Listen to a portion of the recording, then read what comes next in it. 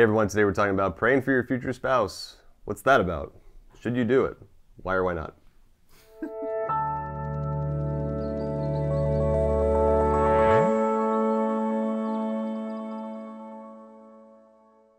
Hey, we're Jackie and Bobby Angel with Ascension Presents. So, praying for your future spouse. Well, St. Paul, I think he, he would say you should. It says in Philippians, says uh, in chapter 4, verse 6, it says, Have no anxiety about anything, but in everything, everything, by prayer and supplication with thanksgiving, let your requests be made known to God and the peace of God, which passes all understanding, will keep your hearts and your minds in Christ Jesus. You know, some people are like, oh, praying for your future spouse is ridiculous or it makes me anxious or whatever. Like, I shouldn't be thinking about the future. It's like, listen, if you're going to talk about this with anybody else, then you absolutely should be talking about it with God because prayer is just conversation with God. So, first of all, God is outside of time.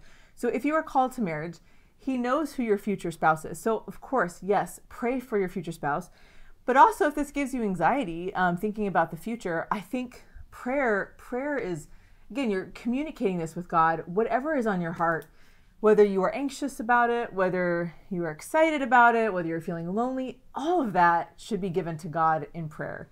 Everything. And I, I would say too that just as we would pray for our health or our finances or our job, you know, our future, we should also then give uh, the other person that we're going to be aligned with to God in prayer, that they're being formed, that they're being um, a whole person, that they're being blessed in whatever they're going through, wherever they are, whenever we will get to be with them and unite. You know, there's no church document on soulmates. Like, we don't subscribe to like the uber romantic Hollywood idea of a soulmate, but nor is it just a cold detachment either. God is guiding all things, God has his providential hand in our lives, you know, in the mystery of how that aligns with our free will, that we are deciding our, our lives here, but God absolutely has a hand and cares who we marry, who we end up with, because that's going to affect generations upon generations. Part of prayer is a detachment. It's really saying, God, I trust you. I trust you with my future. I trust you in your plans. It's a detachment. It's learning how to be detached from the world. We have these desires, which are good. A lot of people desire marriage and family and to have kids, and that's beautiful. But you know what? We're not guaranteed any of those.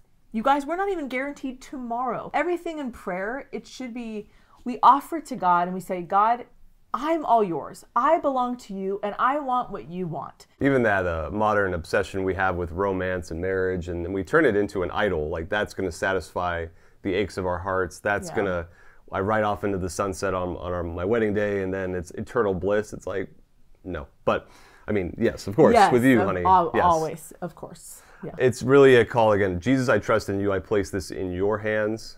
Help me not to make this marriage into an idol. Help me not to make this other person into an idol. I'll be happy when this happens. Like God yeah. wants us to live in the here and now, whatever may come. If we're blessed with a long life or we're not.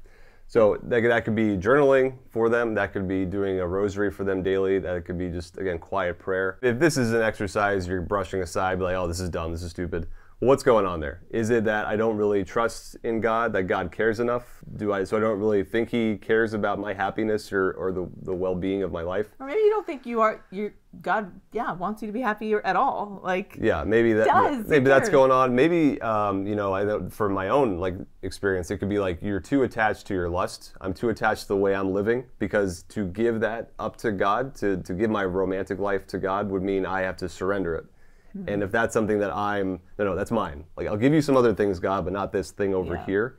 It could be a sign of, the flippancy could be a sign of, well, I don't want God to take over this part, which is really like, this is where He needs to come in and, and clean house and rearrange some stuff in my life right now. Both of us, before we got married, we both knew that God was the one, like God was the one who satisfied every part of our hearts. We weren't looking for each other to do that.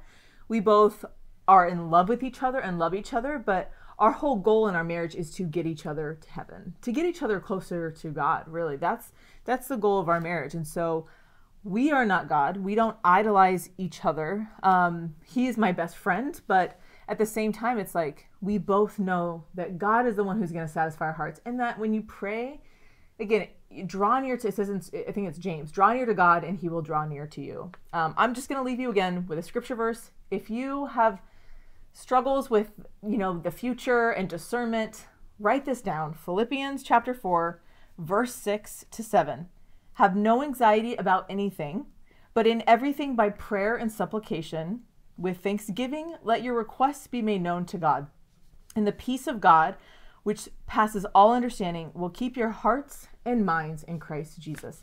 That's the goal. The goal of prayer for anything is to keep your heart and mind in Christ Jesus and to really say with your future, your vocation, Jesus, I trust in you. whatever you are calling me to do, whatever it is, if it's for a spouse and family, if it's to give myself fully to you, Jesus, I trust in you. Thanks for watching. We hope you enjoyed it. Please check out Ascension's other resources to help you on your walk with Christ.